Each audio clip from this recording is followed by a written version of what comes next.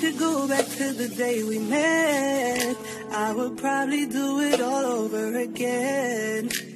And now we're choosing not to be your friend. When you ask me, I'll just say I got a man.